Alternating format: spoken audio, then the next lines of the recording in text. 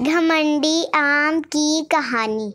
एक जंगल में एक आम के पेड़ पर बड़ा सा एक जादुई आम था। वह बड़ा ही सुंदर था। वह बोल भी सकता था और सोच भी सकता था। आम इतना सुंदर था कि आते जाते लोग उसको देखकर उसकी तारीफें किया करते।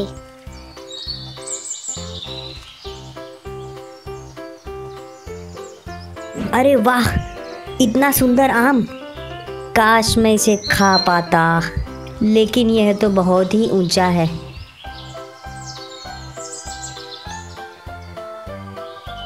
रोज कोई ना कोई आता और आम के लिए यही कहता।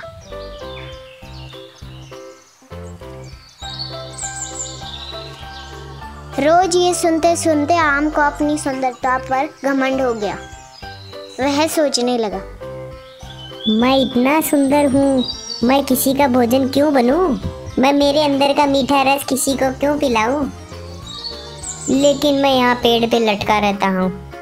मुझे अपनी सुंदरता को सभी को दिखाना चाहिए।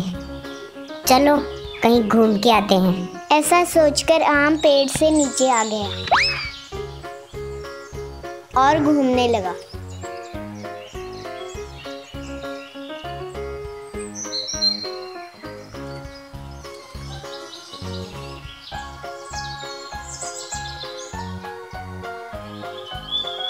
घूमते घूमते आम को रास्ते में एक चिड़िया मिली। चिड़िया ने कहा अरे रुको रुको आम। मैं तुम्हें खाना चाहती हूँ। तुम बहुत ही रसीले हो और बहुत ही सुंदर भी। तुम मुझे नहीं खा सकती। मैं एक जादुई आम हूँ। और मैं अपना रस तुम्हें क्यों दूँ? हम्म हम्म। मैं अपना रस अपने पास ही रखूँगा। यह कहकर आम वहाँ से भागा। भागते भागते आम को आगे चीटी मिली। चीटी ने कहा, अरे वाह, ये आम तो बड़ा ही मीठा और रस भरा है। मैं इसे खाना चाहती हूँ। तुम मुझे नहीं खा सकती, मैं एक जादुई आम हूँ और मैं अपना रस तुम्हें क्यों दूँ? यह कहकर आम वहाँ से भागा और चीटी उसको देखती रह गई। भागते भागते आगे आम को एक आदमी मिला। अरे रुको रुको। कहाँ भागे जा रहे हो? मुझे बहुत भूख लगी है मेरी भूख मिटा दो। चल हट। मैं एक जादुई आम हूँ और किसी की भूख मिटाना मिटाना नहीं है मेरा काम। मैं मेरा रस तुम्हें क्यों दूँ? यह मेरा है। यह कहकर आम आगे चला गया।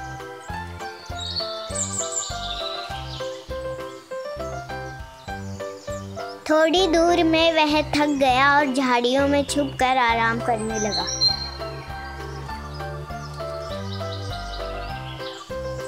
कुछ दिन बीत गए, अब आम सड़ने लगा। उसमें कीड़े भी लग गए थे। अब आम सोचने लगा।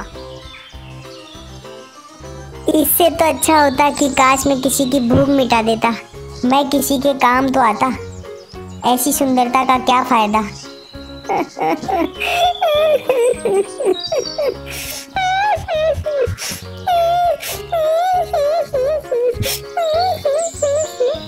और वह ज़ोर ज़ोर से रोने लगा और कुछ दिनों बाद वहीं सड़कर मर गया।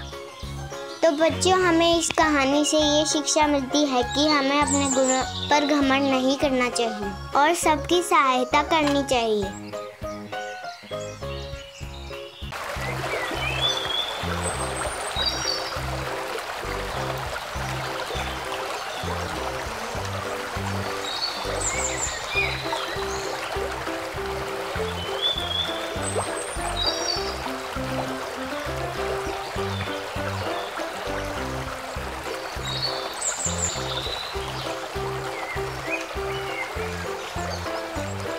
लगता है यह भौरा नदी में डूब रहा है। मुझे इसकी सहायता करनी चाहिए। हम्म, क्या करूँ क्या करूँ क्या करूँ?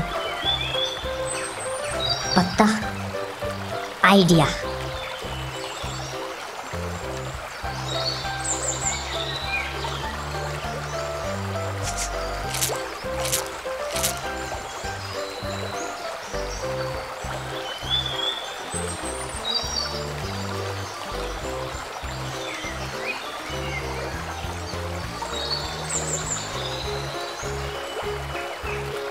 धन्यवाद मित्र, आज तुमने मेरी जान बचाई है। यदि आज तुम नहीं होते तो मैं नदी में डूब जाता। तुम्हारा ये एहसान मैं नहीं भूलूँगा, और एक दिन तुम्हारी सहायता ज़रूर करूँगा। सहायता? वो भी तुम? ठीक है ठीक है। खैर छोड़ो। एक दिन जंगल में शिकारी आया।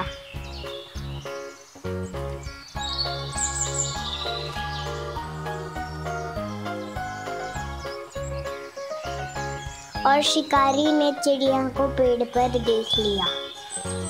अरे वाह, इतनी सुंदर चिड़िया। इसको तो मैं अपना भोजन ज़रूर बनाऊँगा। अभी निशाना लगाता हूँ।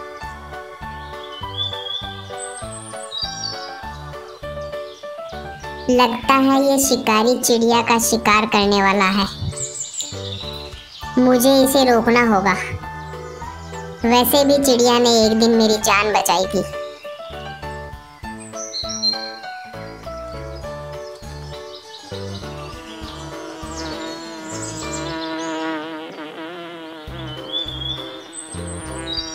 भौरे ने शिकारी को परेशान कर दिया।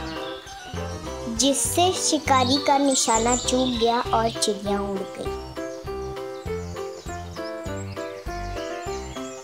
मुझे माफ़ कर दो मित्र यदि आज तुम नहीं होते तो ये शिकारी मेरी जान ले लेता। उस दिन मैंने तुम्हारा मज़ाक उड़ाया था। इसके लिए भी मैं तुमसे माफ़ी माँगता हूँ मित्र। नहीं नहीं कोई बात नहीं रहने दो मित्र। उस दिन तुमने मेरी जान बचाई थी और आज मैंने तुम्हारी। हिसाब बराबर। और हाँ कभी किसी को छोटा और कमज़ोर नहीं समझना चाहिए। यह कहकर भौरा वहाँ से चला गया। एक जंगल में हाथी और चींटियों का झुंड रहता था।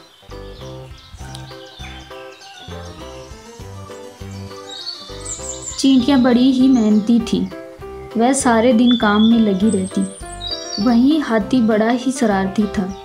वह सारे दिन शैतानियाँ करता रहता। जंगल के सभी जानवर हाथी से परेशान थे। वह चीटियों को कुचल देता और उन्हें परेशान करता और उनके घर तोड़ देता। एक दिन जब चींटियाँ अपने झुंड में जा रही थी, तभी उनका सामना हाथी से हो गया।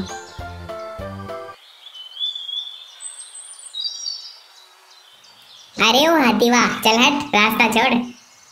काहे रास्ते में तंबू का माफ़ी खड़ा है? हम का जाने दे? बहुत काम है हमारे को। तोरे माफ़ी खाली नहीं बैठे हम चीटी लोग क्या वे पिद्दी सी चीटी? ज़्यादा उछलो मत। ये हमारे पैर का साइज़ देखा है ना? यही मसल के रख देंगे तेरे को। हाथी है हमारा नाम हाथी। तुम्हारे को प्यार से समझा ही रहे हैं। तुम तो सिर पे ही चढ़े जा रहे हो। ज़्यादा घमंड नहीं करने का वरना तुम्हारा घमंड हवा में उड़ाई देंगे। जा जा अपना काम कर। नहीं तो जान से हाथ धो बैठेगी। अब चल निकल यहाँ से। अब चीटी अपने झुंड के साथ निकल ली। वह हाथी भी जंगल में निकल लिया। अगले दिन चींटियों ने हाथी को सबक सिखाने के लिए एक मीटिंग रखी। बताओ चीटियो क्या कोई सुझाव है? इस हाथी से छुटकारा पाने का। सभी एक दूसरे की ओर देखने लगे। उन्हीं चीटियों में से एक टूनी नाम की समझदार चीटी थी। उसने कहा देखो भाई हम बहुत छोटे हैं। और हम हाथी से आमने सामने की लड़ाई तो बिल्कुल भी नहीं कर सकते। इसलिए हमें हाथी से लड़ने के लिए अपने दिमाग का इस्तेमाल करना पड़ेगा दिमाग का। और इस हाथी से निजात पाने की एक तरकीब है मेरे पास। बोलो टुनी क्या कहना चाहती हो तुम? और कौन सी तरकीब है तुम्हारे पास? महारानी साहिबान यदि हम हाथी की सूंड में किसी तरह से भी घुस जाएँ, तो हाथी की सूंड में उसे काट कर उसको नानी याद दिला सकते हैं। और वैसे भी हम बहुत छोटे हैं। हमें हाथी की सूंड में घुसने में कोई परेशानी भी नहीं होगी। अरे वाह, टूनी चिटी तुमने तो कमाल कर दिया। हम तुमसे बहुत खुश हुए। और इस काम को करने की ज़िम्मेदारी भी हम तुम्हें देते हैं। जो आज्ञा महारानी जी, महारानी की जय हो। अब अगले दिन जब हाथी सो रहा था तो धीरे सी टूनी चीटी उसकी सौंड में घुस गई। और ज़ोर ज़ोर से काटने लगी।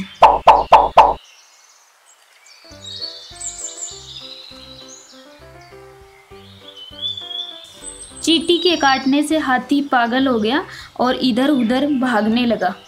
क्यों रे हाथी? आया मज़ा? बड़ा घमंड था ना अपने विशाल शरीर पर। अब काहे पगला रहे हो?